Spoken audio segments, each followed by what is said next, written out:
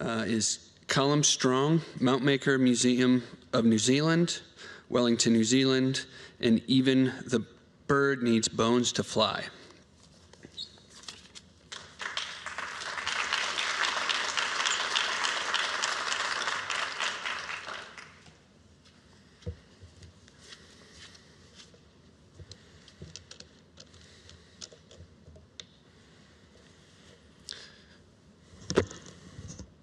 He tohu whakamaharatanga, kia ora, tonu te Aotearoa.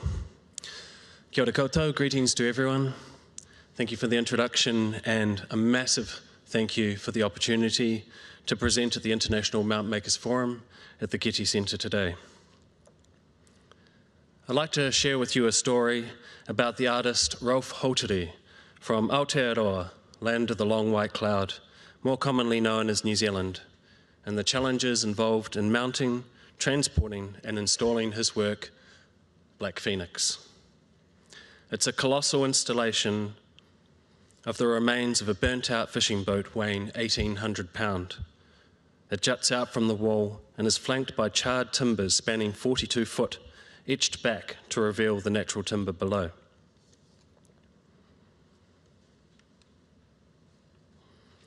For today's talk, I'll give you a quick introduction to the National Museum of New Zealand, where I've been mount making for the past 11 years. I'll give you some context to the artist and how Black Phoenix came into existence before we dive into the mount making process from design to installation. So I'd just like to start with acknowledging Te Papa Tongarewa, Container of Treasures, which is the National Museum of New Zealand. Te Papa is located in the capital city, Wellington, and much like Los Angeles, is situated on the Ring of Fire in a highly active seismic region. For those that follow Lord of the Rings, might know it as Middle Earth, or more recently with the Rings of Power, Mordor.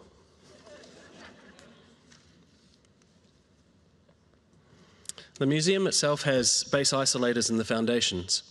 The isolator bearings are made from rubber and steel layers with lead core according to Wikipedia, a technology pioneered in New Zealand in the 1970s.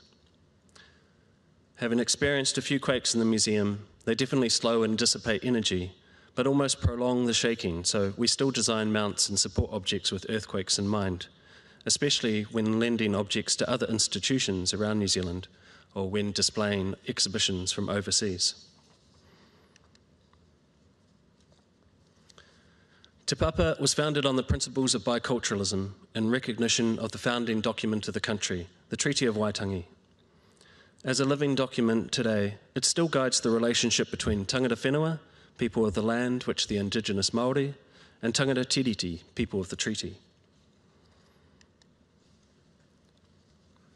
And this is important to recognise in the context of Ralph Hotere and his works. Hotere was one of the first Indigenous artists to bridge the art world between Māori and European practices in the modernist era. The renowned New Zealand art historian Jonathan Mane-Wheoki said, Hotere is at the forefront of mainstream New Zealand art history, but he is also an artist who stood outside New Zealand art history, both as a Māori and as one of the most cosmopolitan, sophisticated international artists New Zealand has ever produced.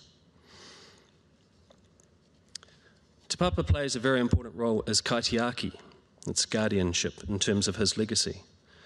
The Black Phoenix work is so seminal, we have a responsibility to make sure we are contributing to the scholarship around it, especially by providing it to other institutions.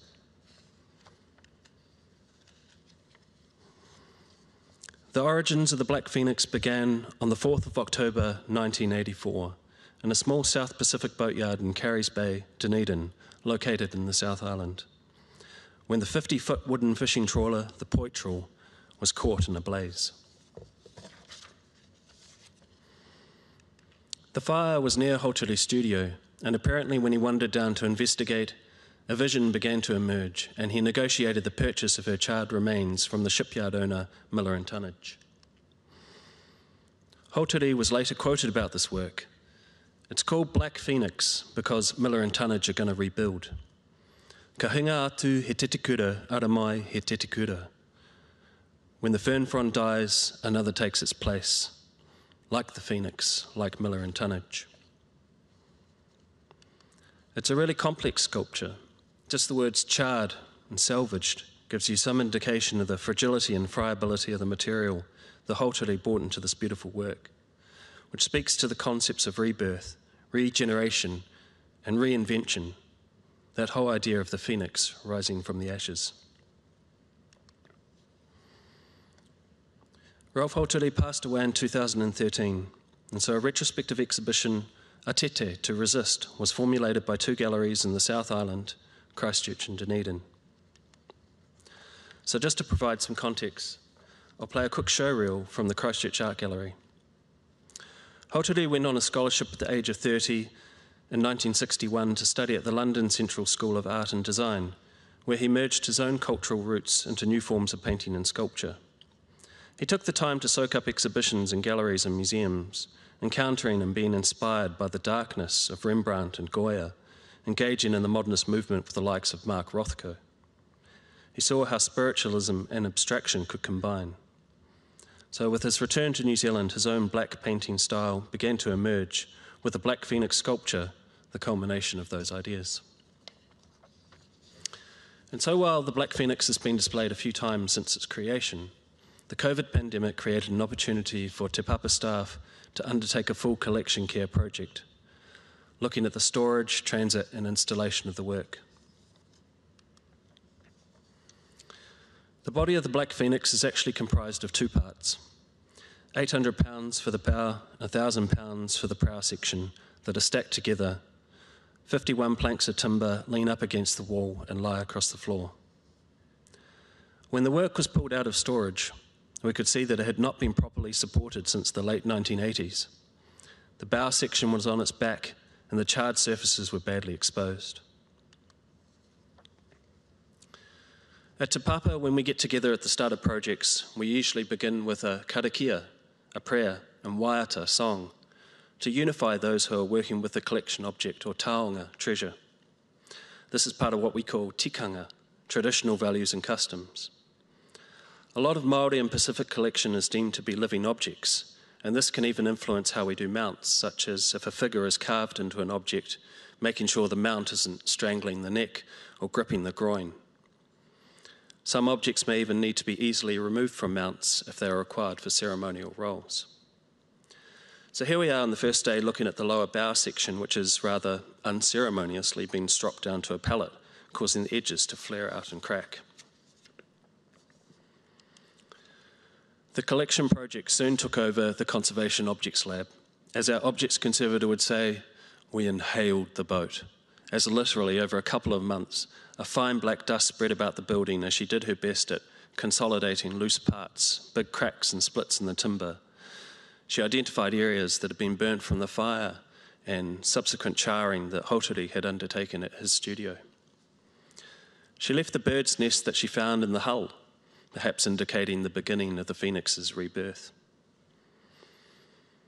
The practical challenges of moving around such large pieces was no easy feat and all planks were subsequently repacked into nested trays with mylar slip layers over foam, with each tray containing its own Ziploc bag to collect fragments and dust to help estimate loss per transit and installation. But the first part of the puzzle was looking at the original mounting solution and how they installed it. That's 80s fashion aside. The old documentation illustrated wires lashed around the lower part of the Samson post, it's usually the strongest part of the boat used for attaching mooring lines and anchors. A team of people would push the charred bow up against the wall while someone climbed into the hull to fix the wires back to the gallery wall. The top prow section was then balanced on top, and the upper part of the Samson post fed through the deck to lock into the lower section below. While it made sense for Hotere to cut through the old fishing boat, the Poitrel, through its waterline, to make it into two manageable pieces. In a biblical kind of way, that he also cut through the Samson post meant the boat had also lost its strength. The main fixing point for the Samson post was well decayed, had an inch of play around a single half inch bolt holding it down onto a knee. Essentially, once the prow section was placed on top, the boat was trying to pull itself apart at the single point. And I guess that's the juxtaposition of this work the vessel on the dry at rest, but behind the scenes, the calculations suggest this is a ship at anchor in a howling 50 knot gale, such as the strain on the Samson Post and gallery walls. And indeed, the review of the old installation documentation spoke about one gallery wall failing under the strain and concrete reinforcement having to be added. Along with the visible internal damage to the boat, it wasn't hard to imagine a point where future failure was likely.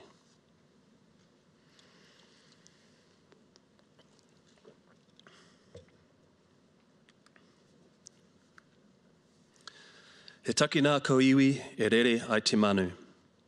Even the bird needs bones to fly. This came to me one night while lying on the floor of the conservation lab, with the bow still on its back. I was trying to picture the floor as the wall and extrapolate the myriad of angles and measurements required to make the bow section of Black Phoenix rise up. I guess as mount makers, our number one focus is to maintain the integrity of the artist's vision. It's not just the making we do, it's the conversations with curators and conservators to ensure we're all on board while we strive to keep mounts invisible, protect the artwork, make the install easy and safe. And indeed, when I proposed a new mount system, Te Papa curator Megan Tamati Quennell, who had met Ralph Hotere a number of times, told me that he loved mechanical engineering, had an obsession with cars, had even visited a Mercedes Benz factory in Germany to source Mercedes Benz black lacquer for his paintings. When it came time for the paint finish on the mounts, unfortunately, my budget didn't extend quite so far.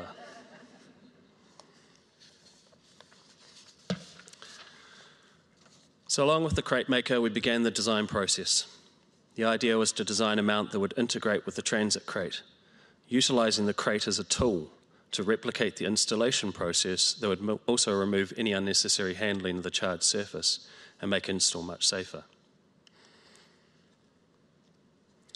So starting with CAD, as we all know, that's actually cardboard aided design. I made up uh, four brackets per section that would clamp around what is called the stringers, as these stringers were determined to be the most structurally sound part of Black Phoenix, being fastened to the ribs and hull planks themselves and this gave me a reference point for the overall mount system. The first sketches gave me a sense of the internal space I had to contend with and how the mount might connect back to the wall. I knew it couldn't be fixed. The mount would require adjustment. I looked at different options. Brace checks, no. Slotted sliding segments. I decided on wall plates to clip onto and considered their spacing relative to any mounts and the space between the different parts of the boat. I questioned how the mount would interface with the crate. We also had to consider the loading, the moment around the base of the keel, and finally settled on braced cantilevered arms connected via a split batten approach to wall plates made from 3 8 inch steel with enough wall anchors to resist pull-out in a seismic event.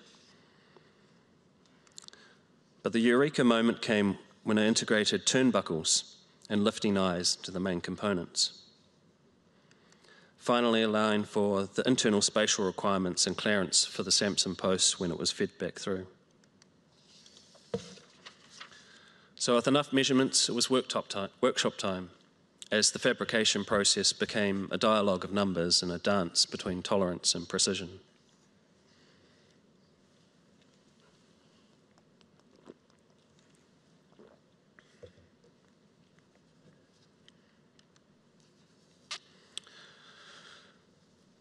The brace cantilevered arms were made from 3 by 2 inch steel section, and these connected the turnbuckles to a lifting structure that connected to the stringer clamps.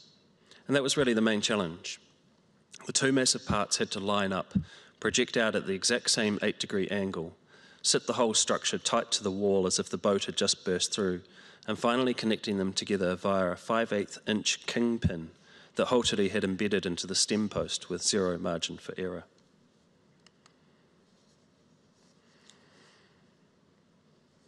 For the paint finish, we just had to settle for Mount Maker's Black. You can see here the turnbuckle design, which allowed both bow and prow sections to be adjustable in all directions, tilting bow to stern and port to starboard. As the cantilevered arm stays still, the lifting cradle changes angle by pulling up or lowering down on each side. The moment of truth. We successfully flipped the old pallet up, and the Phoenix began to fly towards the new crate system, ready for its final fit out.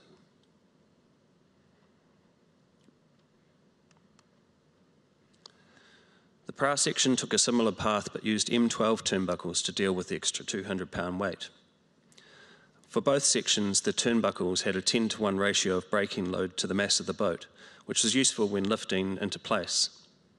The main consideration then was the rotation about the keel, and the braced arms and wall plates countered those rotational forces.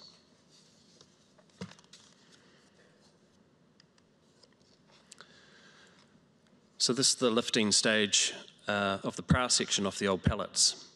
We designed a lifting bar that locked into the mount through an opening in the deck. We set up a mock install in one of the corridors that had enough space. The wall bracing formed part of the specifications and layout plan that was sent on to the galleries, so they could get an engineer to um, make sure everything was reinforced, signed off um, before we arrived. We lifted the bow section into place, which was a simple transfer to the crate to the wall, and then tested the prow section, discovering that the kingpin on the prow, that final crux move, was out of alignment with a corresponding hole in the bow. But with a few quick turns on the turnbuckles, it was with great satisfaction when it fit together perfectly.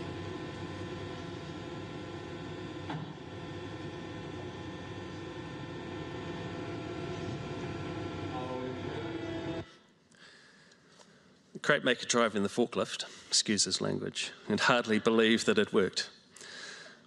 But again, when installing at the two galleries, those fine adjustments on the turnbuckles that we could make uh, really helped with the non-square walls and unlevel floors that we ultimately encountered. From there, the transit and installation process was relatively seamless. The final crate fit-outs were completed. This is Exhibit A, boat in a box, and the prow crate was nicknamed the Landship after the World War I tank. Its dimensions are 10 foot wide and 6.5 foot high and long. Here we have the final fitting out of the plank trays and stack for transit. Each tray weighed up to 200 pound. The stack weighed over a ton, and there was actually two stacks. Here, arriving at the first venue, showing before and after transit, with minimal charcoal loss, which meant we had a very, very happy crate maker.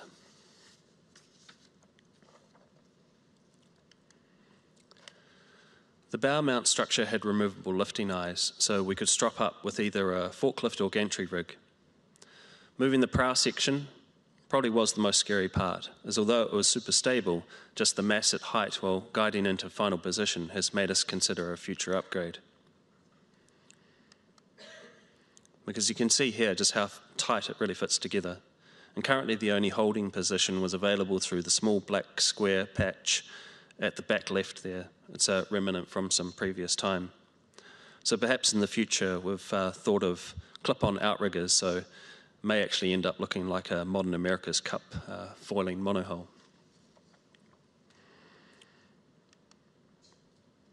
And just to give you a sense of scale, with all the trays laid out, here we are mid-install at Dunedin Public Art Gallery as we began to install the planks.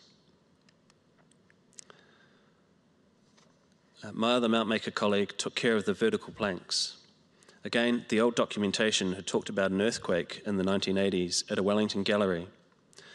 Originally, small wooden blocks had been fastened to the back of the timbers, and these had been double-sided taped to the floor and wall.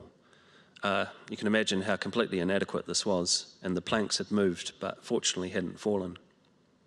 Many of these old blocks had split, so removing these and replacing them with D-ring J-hook system at the top and a hinge plate at the bottom was approved.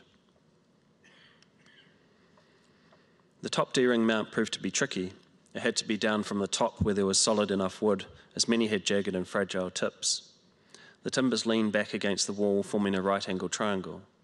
As we didn't have a high enough stud um, in our conservation lab, we had to form a horizontal jig stand uh, to set the foot of each plank at the same apparent distance from the wall when they would finally be installed.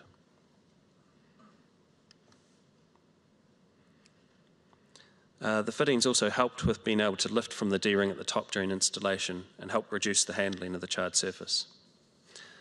With so much time with the work, we really came to admire Hotere's selection of timbers, as despite their jagged and crumbly exterior, the hardwood below, exposed as golden honey hues, is in such great condition the work should surely endure for a long time. And while Hotere was notoriously silent about his own work, some perspectives have emerged. When laid on the floor, the planks lead the viewer as if across the sun glowing water to the upraised prow of the boat itself. The charred timbers stacked against the wall on either side of the prow resemble the ribs of a palisade surrounding a traditional pa or village. The colonial ship has crashed through.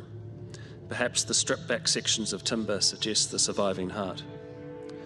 The name of Hotere's tribe, Te Aupōuri, can be translated as dark smoke.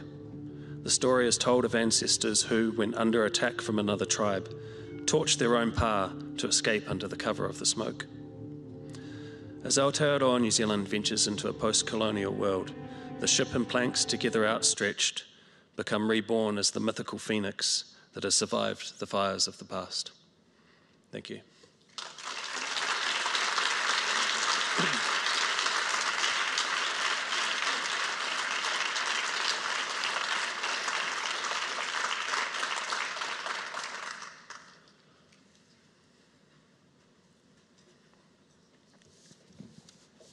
Thank you, Callum. Um, we have a couple of virtual questions. Back to the conservation. Uh, what was used to consolidate the charred sections? Uh, that would be a really good question for Nirmala Balram, our conservator.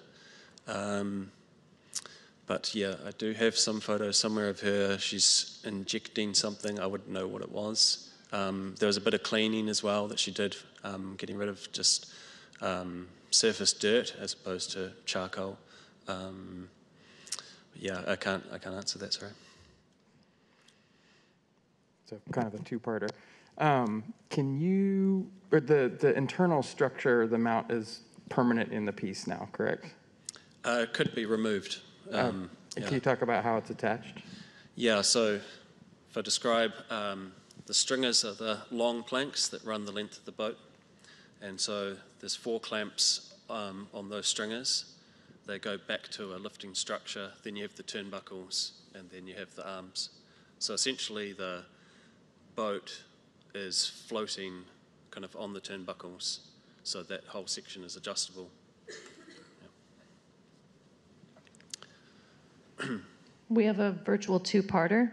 Did the artist leave any directions for the mounting of this work, and was the old documentation created by the artist? Um, no, it wasn't. That was from um, some of the original installs that I managed to track down through the archives. Um, he did leave some notes as to the arrangement of the planks, depending on the venue, because some of the planks of timber are um, close to six metres tall. So if the gallery couldn't have that kind of ceiling height, then they could be swapped out to the floor with shorter planks to the wall. How was the work originally stored?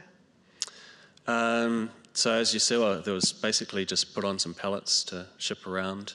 Um, it had a kind of a, a, loose kind of frame and some plastic sheeting over it. Um, so yeah, it, it, was really in need of some some love. Um, it had been in storage for quite some time. Um, and then just these sporadic installs over the years where people had sort of just followed that kind of original and sort of way of doing it. And anyone who I talked to who had worked on it told me it was an absolute nightmare. um, and just really dangerous too. So, yeah. uh, in the planks where the wooden blocks had been removed, is the, were the original holes where you tried to reattach those hinges at the bottom? Yeah, that's correct. So um, where the original holes, um, that's what we tried to do because um, interventions like that are usually a big no-no. Um, but it was deemed in terms of the earthquake kind of risk for them falling that we actually had to do something. Um, and so there was also um, one previous install, I did come across some notes that um, someone had made some actual clamp mounts to go around the timbers, and that was when Ralph Hotere was still alive. When he came to view the work, uh, he completely rejected them. He said, no, get rid of them. So um, we had to do something that was behind them um, and keep it as minimal as possible. Uh, the D rings were those also already placed, or Uh, no, so the so the D rings um, was where we could, where there were the old wooden blocks, we'd put them in the in the same place. Yeah. cool.